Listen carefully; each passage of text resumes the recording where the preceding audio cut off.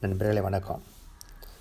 இந்த ஆன்மீக இயக்கங்கள் இந்த ஞானி இது மாதிரி ஆளெல்லாம் நம்ம சமுதாயத்துக்கு தேவையா? இல்லாட்டி அவங்களே பிரச்சனையை தூண்டுறாங்களாங்கிறத பற்றி நம்ம இன்றைக்கி பேச போகிறோம் அதாவது ஒரு நண்பர் ஒருத்தர் வந்தார். அவர் வந்து இந்த மாதிரி சொன்னார். நான் வந்து ஒரு இயக்கத்தில் இருந்துகிட்டு இருந்தேன். அந்த ஆன்மீக இயக்கத்தில் அதை நடத்துகிறவங்க எல்லோரும் பெரும்பாலும் லேடிஸ் தான். தியான முயற்சி எல்லாம் நிறையா சொல்லி கொடுத்தாங்க. எத்தனையோ பேர் இதில் பயனடைஞ்சிருக்காங்க. நானும் கூட இதில் பயனடைஞ்ச ஒருத்தன் தான் ஆனால் ஓரளவுக்கு மேலே யாராலையுமே அதுக்கு மேலே போக முடியல. வகுப்பு நடத்துகிற தலைவர்கள் கூட ஓரளவுக்கு மேலே போக முடியாமல் அப்படியே தேங்கி போயிட்டாங்க. எனக்கு தெரிஞ்ச ஒருத்தர் குடிகாரராக இருந்தார். குடிச்சுவிட்டு மனைவி மக்களுக்கு தொந்தரவு கொடுத்துக்கிட்டே இருந்தார். அவர் அந்த இயக்கத்தில் சேர்ந்து குடிக்கிறத கூட நிறுத்திவிட்டார். மனைவி மக்கள்லாம் கொஞ்சம் சந்தோஷமாக கூட இருந்தாங்க. ஆனால் அவங்களோட சந்தோஷம் வந்து ரொம்ப நாளைக்கு நீடிக்கலை. அவர் இப்போ வந்து இந்த வீட்டுக்கு வீட்டையும் வீட்டினரையும் எல்லாத்தையும் வேலையெல்லாம் புறக்கணிச்சுவிட்டு அந்த இயக்கத்திலேயே போய் டோட்டலாக ஐக்கியமாகிவிட்டார். அந்த இயக்கத்தில் இருக்கவங்க கூட அதுக்கு தான் முக்கியத்துவம் கொடுத்துக்கிட்டு இருக்காங்க. இப்போ அவங்க வீட்டுக்கு உள்ளவங்கெல்லாம் வேறு விதமாக புலம்ப ஆரம்பிச்சிட்டாங்க. அவர் குடிகாரராக இருந்தால் கூட பரவாயில்ல எங்கள் கூட இருந்தாருன்னு சொல்லிட்டு அப்படி சொல்ல ஆரம்பிச்சிட்டாங்க. ஆனால் அந்த இயக்கத்தை சேர்ந்தவங்கெல்லாம் இன்னும் தாங்க தான் உயர்ந்தவங்க மாதிரி ஒரு ஆணவத்தை தங்களை அறியாமலேயே வளர்த்துக்கிட்டு இருந்துக்கிறாங்க அந்த இயக்கத்தில் சேர்ந்த ஒருத்தர் தங்கள் வீட்டில் தயாரிக்கிற உணவை மட்டும்தான் சாப்பிட்ணும் வெளியில் சாப்பிடக்கூடாது அதிலும் பூண்டு மாதிரி சில பொருளை சமையலில் சேர்த்துக்கக்கூடாது அப்படின்னு சொல்லிட்டு நிறையா கட்டுப்பாடெல்லாம் வச்சதுனால நிறையா பேர் உணவு மீதே ஈடுபாடு காட்டாமல் ஒரு நோயாளி மாதிரி கூட மாறி போயிட்டாங்க. இன்னும் சில பேர் தன்னோட பெற்றோர் வீட்டுக்கு போகிறப்ப கூட தான் வீட்டில் சமைச்ச உணவு தான் எடுத்துகிட்டு போயிருக்காங்க. இதனால் பெற்றோருக்கும் இப்போ பிள்ளைக்கும் கூட கருத்து வேறுபாடு ஏற்படுற அளவு கூட வந்துருச்சு. அந்த இயக்கத்துலேருந்து இன்னும் சில இதை கூட நான் இப்போ பார்க்க நேர்ந்துச்சு. அதாவது ரெண்டாயிரம் வருஷத்தில் என்ன உலகம் அழிஞ்சு போயிடுங்கிற கருத்தை அந்த இயக்கத்தினர் சொல்லிட்டு இருந்திருக்கிறாங்க. அதை உண்மைன்னு நம்பிய ஒருத்தர் வந்து அந்த பயத்தினால் உடல் நலமும் மனநலமும் ரொம்ப பாதிக்கப்பட்டு விட்டார் இன்னொருத்தர் வந்து அவர் அடுத்தவர் கொடுத்த உணவை சாப்பிடாம இருந்துக்கிட்டே இருந்தார். காலப்போக்கில் அவரோட மனநலமும் அப்படியே பாதிப்புக்குள்ளாகி போச்சு. அடுத்தவங்க நம்மளுக்கு கொடுக்குற உணவில் வந்து நம்மளை மயக்கி போடுற மருந்துகள்லாம் கலந்துருப்பாங்கன்னு சொல்லி அவர் பாட்டுக்கு எதாவது பண்ணாத ஆரம்பிச்சுட்டார். இன்னொருத்தர் வந்து தன்னோட அனுபவத்தை சொன்னார். அதாவது அவர் வந்து ஹைதராபாத்லேருந்து வந்திருந்தார். அவர் பல பகுதியிலையும் பலவிதமான ஞானியும் ஆன்மீக இயக்கத்தையும் அணுகி பயிற்சி எடுத்துருக்காரு ஆனால் இது எதுனாலையும் ஒன்றும் பலன் கிடைச்சதா ஒன்றும் சொ தெரியலன்னாரு. அதனால் தன்னால் எந்த விதமான முடிவான முடிவுக்கும் தன்னால் வர முடியல. ஒவ்வொரு ஆன்மீக இதுலேயும் ஏதோ கொஞ்சம் கொஞ்சம் பலன் கிடைச்சிது அப்படின்னு சொல்லி அவர் சொன்னார். இப்போ உண்மையில் இந்த ஆன்மீக இயக்கம்லாம் என்ன தான் செஞ்சுக்கிட்டு இருக்குது? அதெல்லாம் சமுதாயத்துக்கு தேவைதானா? இல்லாட்டி அதுவே பிரச்சனையை தூண்டிக்கிட்டு இருக்குதா? இப்போ அதை சார்ந்திருக்கிறது நம்மளோட தகுதி என்னதான் இருக்குது? அதோட நம்ம கொண்டிருக்க தொடர்பு என்ன மாதிரி இருக்குது? இங்கே என்ன தான் நடந்துக்கிட்டு இருக்குது? எல்லா வழிகாட்டிகளும் நல்லவங்க தான். வழிகாட்ட முயல்கிற எல்லா இயக்கம் கூட உயர்ந்ததான் இருக்குது. அவங்க யாரும் நம்மளை ஏமாத்துகிற நோக்கில் ஒன்றும் இங்கே செயல்படலை. அவங்க எல்லாரும் அவங்களுக்கு தெரிஞ்சதை அவங்களுக்கு தெரிஞ்ச வழிமுறையில் சொல்லி கொடுத்துட்டு இருக்காங்க. அவங்க அளவில் அவங்க சொல்கிறது எல்லாமே ஒரு சேவைங்கிறது தான் எடுத்துக்கணும். அப்படின்னா இந்த இடத்துல பிரச்சனை எந்த இடத்துல தான் இருக்குது? இப்போ போதிக்கிறவங்கள்ட்டையோ இல்லை இயக்கங்கள்ட்டையோ பிரச்சனை இல்லை. அவங்கள இல்லாத அவங்கள பயன்படுத்திக்கிட்ட நம்ம தான் பிரச்சனை இருக்குது. நம்ம தான் நம்மளோட அணுகுமுறை இந்த இடத்துல சீரமைச்சிக்க வேண்டியிருக்கு. இப்போ பாருங்கள் ஒரு மரம் வந்து ஆரோக்கியமாக வளரணும்னா அது எப்படி வளரணும்? இப்போ நான் இப்போ வந்து நம்ம வந்து நம்மளுக்கு தேவையானதை பெறதுக்கு ஏதோ கடையோ ஹோட்டல்லையோ தேடி கூட போயிடலாம். ஆனால் மரத்தால் அப்படி போக முடியுமா? மரம் வந்து தனக்கு வேண்டிய உணவை பெறத்துக்கு தன்னோட வேரை தான் நாலாபுரம் அப்படியே படர விடுது. தன்னோட வேரை படர விட்டு தான் தனக்கு வேண்டியதெல்லாம் வேர் மூலம் கிரகிச்சு அதை தன்மயமாக்கி கொண்டு அது பாட்டுக்கு வளருது. அதனால் அது சுதந்திரமாகவும் ஆரோக்கியமாக கூட வளருது. அப்படி இல்லாமல் அந்த மரம் வந்து தனக்கு ஆதரவும் பாதுகாப்பும் தேடி தன்னோட கிளையை வந்து பக்கத்து மரத்து மேலே படர விட்டுச்சுன்னு வச்சுக்கோங்க. அப்போ வந்து அதோட ஆதரவு இல்லாமல் இந்த மரம் நின்றுக்கிட்டு இருந்ததுன்னா அந்த மரத்தோட நிலைமை வந்து என்ன ஆகும்? அதான் வேறு தான் முக்கியமாக இருக்குது வேரை வந்து நாலா பக்கமும் படர விட்டு நம்மளுக்கு பட நமக்கு வேண்டியதை பெற்றுக்கிறதுல ஒன்றும் தவறு கிடையாது. ஆனால் நமக்கு வேண்டியதை பெற நோக்கில் கிளைய படறவர் தான் அது தவறாக போயிடுது. இதனால் நம்ம வந்து நம்மளோட சுதந்திரத்தை கூட இழந்துடுறோம். நம்மளை சார்ந்திருக்கிற இடத்துக்கு அடிமையாக கூட போயிடுறோம். உண்மையில் இந்த ஆன்மீக போதனை ஆன்மீக இயக்கம் ஆன்மீக அமைப்பு எல்லாமே நம்மளுக்கு விடுதலை அளிக்கிற நோக்கத்துக்கு தான் இருக்குது. ஆனால் நம்ம வந்து நம்மளோட விடுதலையே கேள்விக்குறியாக்குற பட்சத்தில் நம்ம தான் இந்த நம்மளோட அணுகுமுறையை இந்த இடத்துல மாற்றிக்க வேண்டியிருக்கு. இந்த ஒரு ஓஷோ கூட ஒரு அருமையாக ஒரு கதையை சொல்லியிருப்பார். ஒரு டெய்லர் ஒருத்தர் அங்கே சும்பாச்சுன்னு ஒரு டெய்லர் இருந்தார். அவர் நல்லா ட்ரெஸ் எல்லாம் நல்லா சூப்பராக கலையால் கூட நல்லா தைக்க விரும்புவார். த நல்லா தைச்சி கொடுப்பார் எல்லாத்துக்கும். அந்த சும்பாச்சி டெய்லர் கூட த அந்த துணியில் ஒரு ஒரு துணி கொண்டு போய் ஒருத்தர் கொடுக்குறாரு. இந்த மாதிரி நல்லா எனக்கு துணி தைச்சி கொடுங்க நல்லா உயர்ந்த துணின்னு சொல்லிட்டு. உடனே சும்பாச்சி டெய்லரும் அந்த துணியை எடுத்துக்கிட்டு நல்ல கலைநயமான ஒரு மேலாடை ஒன்றை தச்சு கொடுக்குறாரு. அந்த ஆடை வந்து ரொம்ப சூப்பராக தான் இருக்குது பார்த்த உடனே நல்லா தெரியுது. ரொம்ப மகிழ்ச்சி அடைந்து அவர் வந்து இந்த தனக்காக தைக்கப்பட்ட அந்த அழகான ஆடையை அந்த டெய்லர் முன்னாடியே அப்படியே போச்சு போட்டு பார்க்குறாரு. ஆடை ரொம்ப சூப்பராக தான் இருக்குது ஆனால் முதுகு பக்கமாக சட்டையில் துணி கொஞ்சம் இடத்துல அப்படியே கொஞ்சம் லேசாக புடச்சிக்கிட்டு கொஞ்சம் விகாரமாக தெரிஞ்சுது. அதை பற்றி அந்த டெய்லர்கிட்ட கேட்டது அவர் சொல்கிறாரு இல்லை இந்த துணி வந்து ரொம்ப தையல் கல ரொம்ப அழகோட அமைஞ்சிருக்கு. இனிமேல் இதை மாற்றி அமைக்கக்கூடாது நீங்கள் இந்த மேலே அடையை அணிஞ்சிக்கிட்டு நடக்கும்போது கொஞ்சம் முன்பக்கமாக குனிஞ்சிக்கிட்டிங்கன்னா அந்த புழிஞ்சிக்கிட்டு இந்த புடச்சிக்கிட்டு இருக்கிற துணி வந்து சரியாக போய்ட்டு அப்படின்னு சொல்லி சொல்கிறாரு மேலே ஆலையை அணிஞ்சு பார்த்தா அவர் முன்பக்கமாக குனிஞ்சு பார்த்தாரு. டெய்லர் சொன்னது மாதிரி புடச்சிக்கிட்டு இருந்த துணி இப்போ கொஞ்சம் சமனாயிடுச்சு. ஆனால் இப்போ இடுப்பு பக்கத்தோட வலது ஓரத்தில் கொஞ்சம் அப்படியே புடச்சிக்கிச்சு. அதையும் டெய்லர்கிட்ட சுட்டி சொல்கிறாரு அதுக்கு டெய்லர் சொல்கிறாரு இல்லை இல்லை இதை நம்ம சரி செய்யக்கூடாது. இதை மாற்றினா அந்த அந்த கலை அம்சமே சுத்தமாக போயிடும். அதனால் நீங்கள் அந்த முன்பக்கமாக குனிகிறப்ப நேராக குனியக்கூடாது. அப்படி முன்பக்கமாக குனிகிறப்ப உங்கள் உடலை லேசாக இடது பக்கமாக திருப்பின மாதிரி குனிஞ்சிங்கன்னா துணி இப்படி வலது பக்கம் புடச்சிடாது அப்படின்னு சொல்லி சொல்கிறாரு இவரும் டெய்லர் சொன்னது மாதிரி கொஞ்சம் இடது பக்கமாக திரிக்குது மாதிரி முன்பக்கமாக குனிஞ்சு பார்த்தாரு. இப்போ நல்லா ஃபிட் ஆகிட்டா நல்லா சூப்பராக ஃபிட் ஆகிடுச்சு இப்போ அந்த மேலாடையை போட்டுக்கிட்டு அந்த டெய்லர் சொன்ன மாதிரி உடலை வளைச்சிக்கிட்டே அப்படி நடந்து போகிறாரு ஸ்டைலாக இப்போ எதிர்த்து அப்படி வந்த ஒருத்தர் வந்து இவரோட சட்டையை பார்த்துட்டு ரொம்ப பார்த்து ரொம்ப ஆச்சரியப்பட்டு போயிட்டார். சட்டை இவ்வளோ நேர்த்தியாக கலை அம்சத்தோடு தயாரிச்சிருக்கு. யார்? சும்பாச்சிட்டியில் தைச்சி கொடுத்தாரா? அப்படின்னு சொல்லி அவர் கேட்டார். இப்போ சட்டை அணிஞ்சதுக்கு ரொம்ப பெருமையாக இருந்தது. ரொம்ப சந்தோஷத்தோட ஆமாம் ஆமாம் சும்பாச்சி தைச்சி கொடுத்தாரு. இது எப்படி நீங்கள் கண்டுபிடிச்சிங்க? அப்படின்னு சொல்லி கேட்டார். இல்லை உங்களை மாதிரி ஒரு கூணனுக்கு கூட சும்பாச்சி ஒருத்தரால் தான் இவ்வளோ சூப்பராக தச்சு கொடுக்க முடியும்னு சொல்லி சொன்னார். இந்த மாதிரி தான் நம்ம வேர்கள் மூலம் நம்ம எந்த ஞானியை வேணாலும் அணுகலாம். எந்த இயக்கத்தை வேணாலும் அணுகலாம். நமக்கு வேண்டியதை கூட கிரகிச்சு கொள்ளலாம். நம்ம வந்து நம்ம கிளைகள் மூலம் மற்றவங்களை சார்ந்திருக்கிறது மட்டும்தான் நம்ம வந்து இந்த இடத்துல முடமாக்கி போடுது.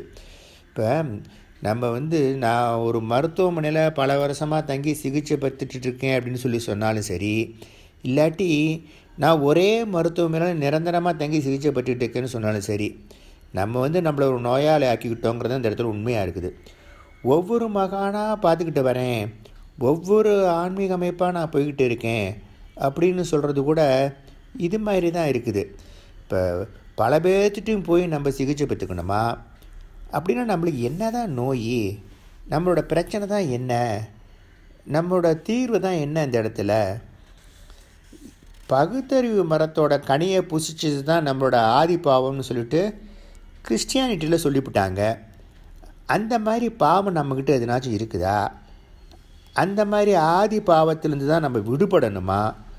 நம்மளோட வாழ்க்கையை தீர்மானிக்கிறது வந்து நம்மளோட மனசு மட்டும்தான். ஒருத்தரோட மனசு எப்படி அமைஞ்சிருக்குதோ இல்லை எப்படி செயல்படுதோ அப்படி தான் அவரோட மொத்த வாழ்வுமே இங்கே அமைஞ்சிருக்குது. சரி அப்படின்னா நம்மளோட மனசு எப்படி செயல்படுது? அது எந்த மாதிரி அமைக்கப்பட்டிருக்குது? அது எந்த மாதிரி இயங்குது? இதை பற்றிலாம் நம்ம நாளைக்கு பார்க்கலாம். நன்றி வணக்கம். நண்பர்களே வணக்கம். நம்ம வந்து நம்மளோட மனசு எப்படி செயல்படுதுன்னு இன்றைக்கி பார்க்கணுன்னு சொன்னோம். நம்மளோட மனசு வந்து ரெண்டு பகுதியாக இருக்குது. ஒன்று வந்து உணர்வு கான்சியஸ்னஸ்ஸு அடுத்தது வந்து அறிவு இன்டலெக்ட் அதாவது நாலெட்ஜ் இப்போ உணர்வு அதாவது கான்சியஸுங்கிறது தான் நம்மளோட மனசோட இயற்கையான நிலையாக இருக்குது. நம்மளோட அறிவு எல்லாருமே அதாவது இன்டலெக்ட் நாலெட்ஜ் அப்படிங்கிறதெல்லாம் சிறுக சிறுக சேகரிக்கப்பட்ட அனுபவம் மற்றும் இந்த தகவல் தொகுப்பு தான் அது எல்லாமே நம்மளோட உணர்வும் அறிவும் கலந்த கலவையினால தான் பலவிதமான மன அனுபவங்கள் கூட நம்மளுக்கு ஏற்படுது மன உணர்ச்சிகள்லாம் ஏற்படுது. இப்போ நம்மளோட ஃப்ரெண்டை பார்க்கும்போது நாம் ஃப்ரெண்டை பார்க்குறோம் அப்படிங்கிற செய்தி வந்து நம்மளோட உணர்வோடு அப்படியே தொடர்பு கொள்ளுது. அந்த செய்தியும் உணர்வும் சேர்ந்த நிலைமையில் நம்மளோட உணர்வு வந்து மகிழ்ச்சிங்கிற ஒரு உணர்ச்சியாக ஒரு அனுபவமாக அந்த இடத்துல வெளிப்படுது. அதேமாரி நம்ம விரும்பாத ஒருத்தரை சந்திக்க நேர்றப்ப நமக்கு பிடிக்காத ஒருத்தரை பார்க்குறோம் அப்படிங்கிற செய்தி வந்து நம்மளோட உணர்வோடு அப்படியே தொடர்பு கொண்டுடுது. அந்த செய்தியும் உணர்வும் சேர்ந்த நிலைமையில் நம்மளுடைய உணர்வு வந்து வெறுப்பு அல்லது துன்பங்கிற உணர்ச்சியாக இல்லை அனுபவமாக அந்த இடத்துல வெளிப்படுது. இப்படி இந்த கான்சியஸ்னஸும் இன்டலெக்டும் கலந்த கலவையாக தான் நம்மளோட மன அனுபவம் எல்லாமே வெளிப்பட்டுக்கிட்டு இருக்குது நம்மளோட இயற்கையான நிலை வந்து நிலை உணர்வு மட்டும்தான். அது வந்து கள்ளங்கபடம் இல்லாமல் இருக்குது. ஒரு இன்னசென்ட் ஸ்டேட்டாக இருக்குது. அதோடு போய் நம்ம இது வரைக்கும் சேகரித்து வச்ச அறிவு செயல்படுறப்ப நம்மளோட கபடமற்ற தன்மையில் மாற்றம் வந்துடுது நம்ம சேகரித்த அறிவு வந்து இந்த இடத்துல ஒரு கணக்கராட்டம் செயல்படுது. அது கணக்கிட்டு தான் ஒன்றொன்றையும் செய்யுது. இப்போ கபடமற்ற நம்ம தன்மையில் வந்து இந்த கணக்கர் வந்து தொடர்பு கொண்டிருக்கிறதுனால இங்கே வந்து நம்மளோட வாழ்க்கையில் ஏற்படுற அனுபவம் அத்தனையுமே நம்மளுடைய அனுபவம் ஒன்று ஒன்று விதவிதமாக அமைஞ்சு போயிடுது. சில அனுபவம் வந்து நம்மளுக்கு பிடிச்சதாக அமையுது. பல அனுபவங்கள் வந்து நம்மளுக்கு பிடிக்காதே அமைஞ்சு போயிடுது. பிடித்த அனுபவத்தை தக்க வைக்கிறதுக்கும் பிடிக்காத அனுபவத்திலேருந்து விடுபடுறதுக்கும் நம்ம முயற்சி பண்ணுறோம் இதற்கு துணையாக தான் நம்ம இந்த ஞானிகளை எல்லாம் கூப்பிடுறோம் ஆன்மீக அமைப்புகளை எல்லாம் கூப்பிடுறோம். இந்த மாதிரி இந்த இடத்துல கூப்பிடுறது யார்? அப்படி கூப்பிடுறது நம்மளுக்குள்ளே எது கூப்பிடுது? அப்படி கூப்பிடுறது நம்மளோட கள்ளங்கபடம் இல்லாத நம்மளோட உணர்வா? இல்லாரி இல்லாட்டி போனால் இந்த கணக்கராக செயல்பட்டுக்கிட்டு இருக்க நம்மளோட அறிவா? நிச்சயமாக நம்மளோட கள்ளங்கபடம் இல்லாத நம்மளோட உணர்வு வந்து யாரையும் கூப்பிட்றது கிடையாது. அது எந்த உதவியும் நாடுறது கிடையாது. நம்மளோட கணக்கர் தான் இது மாதிரிலாம் கூப்பிட்டுருக்காரு நம்மளோட கணக்கர் தான் தன்னோட அறிவு மூலமாக நம்மளோட அனுபவத்தை எல்லாம் சீரமைக்கிறதுக்கு இந்த இடத்துல முயற்சி பண்ணுறாரு இப்போ நம்ம ஆன்மீக உலகோட நோக்கம் தான் என்னவாக இருக்குது இந்த இடத்துல? நம்மளோட இலக்கு தான் என்ன? நம்ம எதை நோக்கி நம்மளோட ஆன்மீக முயற்சியில் ஈடுபடுறோம்? முக்தி தான் நம்மளோட இலக்காக இருக்குது. விடுதலை தான் நம்மளோட இலக்காகவும் இருக்குது இப்போ அந்த முக்தினா என்ன? இல்லை அந்த விடுதலைனா என்ன? நம்மளோட உணர்வு நிலையில் வந்து அந்த உணர்வு நிலையோட இயற்கையான நிலையே விடுதலை தான் அது. நம்மளோட கான்சியஸ்னஸோட இயல்பான நிலையே இந்த முக்தி நிலையாக தான் இருக்குது இந்த விடுதலையாக தான் இருந்துகிட்ருக்கு அதனால் இந்த விடுதலைங்கிறதும் நம்மளோட உணர்வு நிலையும் ஒன்றும் வேறு வேறு கிடையாது. நம்மளோட கல்லங்கபடம் இல்லாத தன்மையும் இந்த விடுதலைங்கிறதும் ஒன்றும் வேறு வேறு இல்லை. நம்ம கல்லங்கபடம் இல்லாமல் இயங்குகிற நிலையத்தான் நம்மளுடைய மனசு விடுதலை அடைந்த முக்தி அடைந்த நிலையாக கூட சொல்கிறோம் மனசு வந்து தன்னோட இயல்பான உணர்வு நிலையிலே இருக்கிறதுக்கு தன்னோட இயல்பான கல்லங்கபடம் இல்லாமல் தமிழில் இருக்கிறதுக்கு நம்ம என்ன செய்யணும்? அதாவது இந்த உணர்வு என்ன செய்யணும்? இல்லாட்டி இந்த அறிவு என்ன செய்யணும்?